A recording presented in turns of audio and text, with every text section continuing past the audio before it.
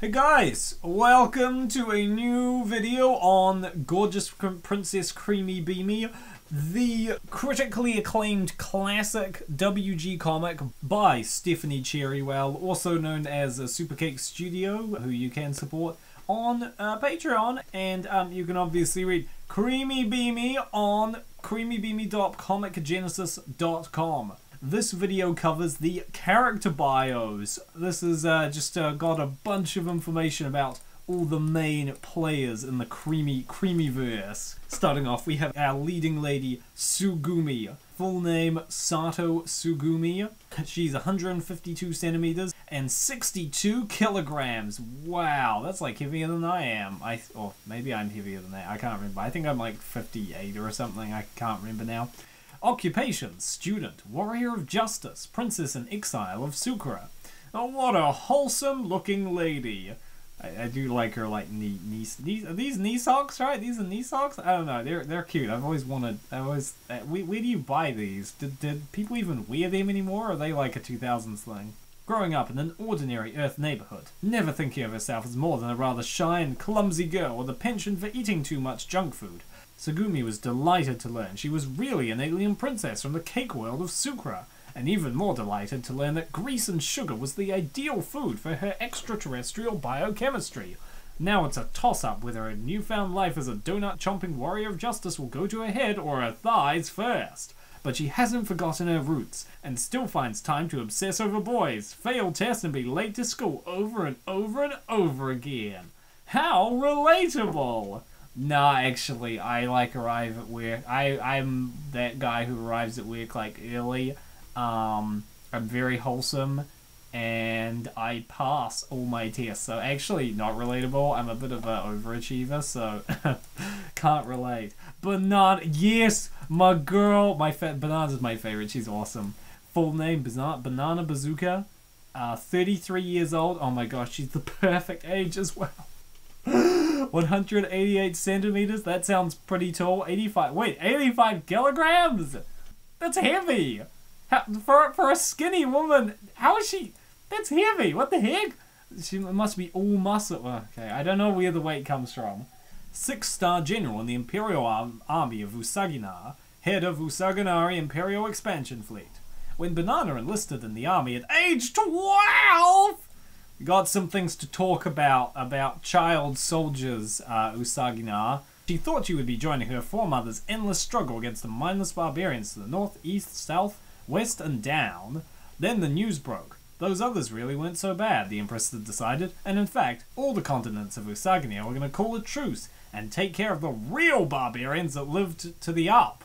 By the time she was 14, she had passed through the War Academy with top marks in combat and subterfuge. At 15, she proved herself a near invincible killing machine on the battlefields of Tarada, one of several small allied nations the newly united empire had wiped out to stave off boredom until the space fleet was built. And at 18, she had already risen to the rank of general in time to lead the invasion in tandem with her twin sister Vanilla. The original plan had been simply to crush Sukra so that Saginar would be left to its eternal civil war and peace, but the whole operation went really smoothly and everybody just got just loads of free cake. And when it was discovered that the Sukrans had starships with advanced features like hyperspace travel, landing gear, and life support systems that didn't rely on a really long hose. Look, Usaginar may be, look, as we've established, Usaginarians are kind of catching up. Um, it seemed a shame not to find what else was out there to conquer. Banana spent 15 years heading up the invasion fleet and added a score of worlds to the Empire, until the news came that Sukra wasn't so totally defeated as they'd thought. She can come and conquer my planet any day. um, yeah, Banana, Banana is great. We, we love Banana. Um, she got this epic, epic tie. Hasn't become really, really fat in the story so far, which is immensely disappointing. Come on, guys. Vanilla, Vanilla Bazooka, 33 years old, 187 centimeters, 210 kilograms. I, I, re- I really like Vanilla's design though. I like I love the red the red colors and her her funny hat. It's great. 10 star general in the Imperial Army of Usagina, acting queen of the colonially occupied territory of Sukra. It seems as though Vanilla's only talent was eliminating those who got in her way, but really, what other talent do you need to get to the top? initially almost flunking out of the War Academy for terrible grades in combat. Her marks improved after the instructor who called her fighting style trite and pedestrian was killed by a rogue Dimetrodon that somehow got into her boot. Unfortunately, after spending the pre-war period playfully backstabbing her way up to the rank of general, she found herself suddenly expected to actually help manage the invasion itself. Luckily for her, she had a highly talented sister to leave all the actual work to, and since at the time they were hard to tell apart, she had little trouble re- reaping the majority of the credit and wrangling total authority over the newly conquered colony. Vanilla now rules Sukra with an iron and increasingly pudgy fist, sending a percentage of the annual cookie harvest back to Usagana while gorging her way to mountainous proportions on the rest of the planet's bounty. Though midway through her second decade of rule, she seems soft and complacent, a sharp and steely heart is buried deep under her blubber. With the sudden news that her position isn't quite as secure as she thought, the sharp claws of the Machiavellian maiden may soon be felt once more. Ix! Oh yeah, this guy. Wow, he has some bright clothes. And a really bad star tattoo. Ix Hoshibana. 23 maybe years old? 182 centimeters, 75 kilograms guardian of Princess Creamy Beamy, wandering rock musician, born on a cookie farm in Sukra's bu- bucolic Mysis fields. Young Ix grew up chafing under the yoke of regal oppression. Many the sunny day he would spend sitting on a stump strumming the simple electric guitar he'd carved himself and dreaming of a world where the royal family no longer held sway. Oh, This guy, this guy sounds awesome. Then the Usaginari troops landed and made the Suka nobility look pos- positively benevolent by comparison. Now Ix works to build Sukra's one hope, the fugitive princess, into a champion that can free the planet. Phase 2 is to immediately depose her and establish democracy. He hasn't gotten around to telling her that part. X X sounds like the, the best the best character now. Incredibly based, anarchist over here. Also, does does Tsugumi really want to be the queen of uh? I don't I don't think so. I think everyone wins in that case. She just she could just go back and live on the Earth again.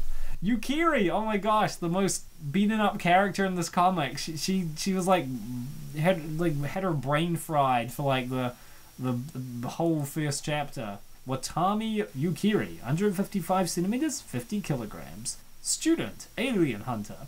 Tsugumi's best friend and the one who has been most frequently called upon to drag her back from the ice cream parlor or fudgeteria after a bender.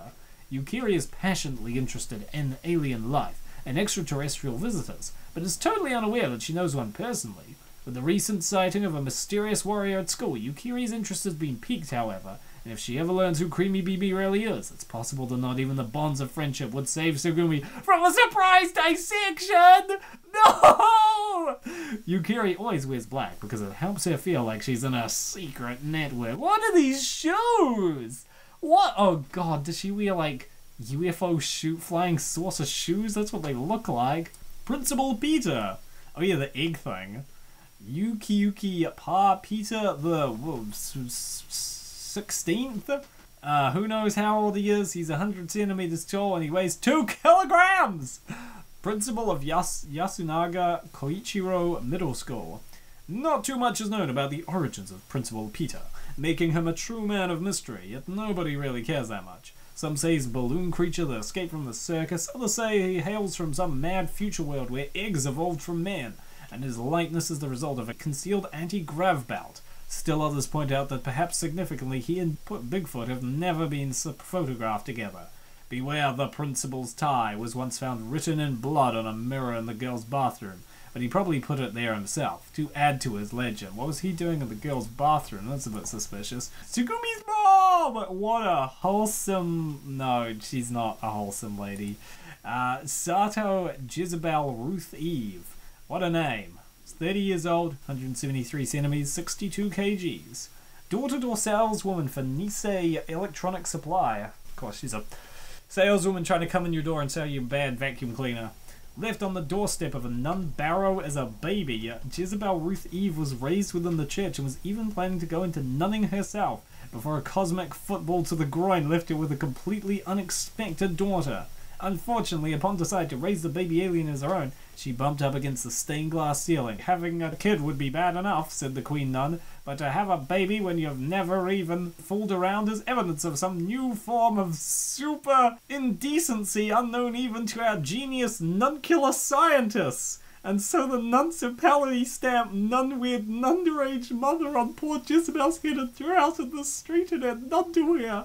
She managed to get a job as a sales lady for a small electric gadget company and now works hard to earn enough commissions to keep her daughter in snacks.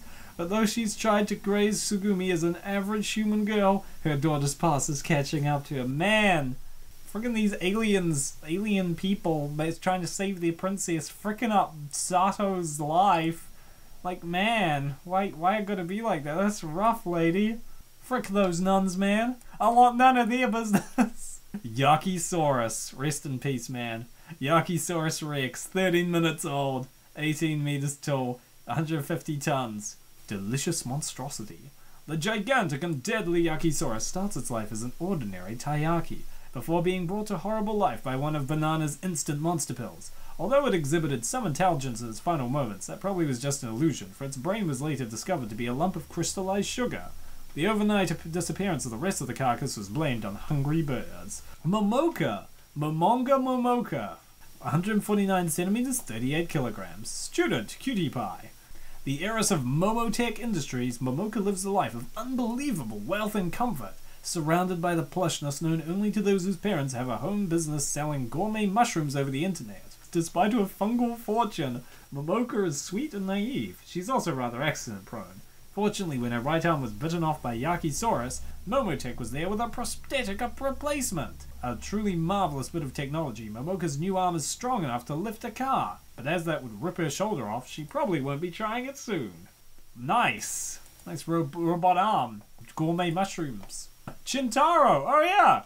The guy who, uh, Banana, it, it, if you saw the, uh, the, um, special bonus comic where Banana moved in with this guy, yeah, he's now living with uh, Banana. I know. Lucky guy. It should have been me.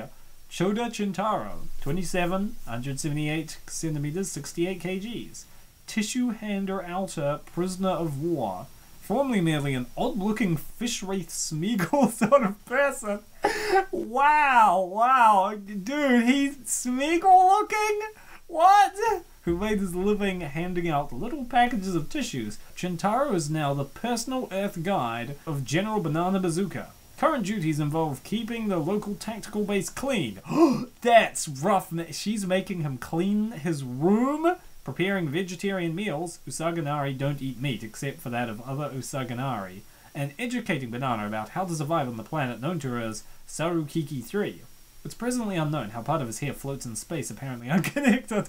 He's like, uh, like it looks like a freaking um, anglerfish. Scientists point out a parallel to the dog's nose on the obscure sitcom Family Dog. Mysterious. I'm gonna have to ask Wait Comic Guy about that one. I haven't heard of Dog Family Dog. And Creamy Beamy. Gorgeous Princess Creamy Beamy, daughter of Regal King Gluteus the 26th seventh, that is, and statuesque Queen Razzie Berry, heir to the throne of the glorious rotating kingdom of Sukra. 152 centimeters, 62 kgs, and up.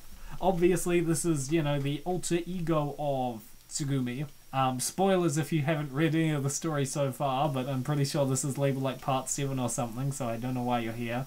Um, student, warrior of justice, princess in exile of Sukra. But for a lifelong deficiency in royal jelly, this would have been what Tsugumi looked like. In this form, she's virtually indestructible, considerably stronger and more agile, and can engulf incredible amounts of food to burn for quick energy and rapid healing. There are likely a load of other powers buried in her regal genes, but since the full strength of a royal Sukun hasn't been required for centuries, she'll have to work out these forgotten abilities on her own. Oh, she's gonna unlock special powers, power-ups, that's epic! How many of them relate to being fat and eating food? Probably all of them. And now that is all the uh, major players so far. Oh boy, I cannot wait to get into the next arc. It's going to be exciting. Uh, definitely stay tuned for that. Um, and definitely if you want to read the comic yourself, and I do recommend that because we do. Um, our, our dub is definitely the 4Kids dub, if you know what I mean. So check it out on creamybeamy.comicgenesis.com. And also support the artist uh, at Supercake Studios on uh, Patreon. That will be linked in the description. Have a good one, everyone. Bye.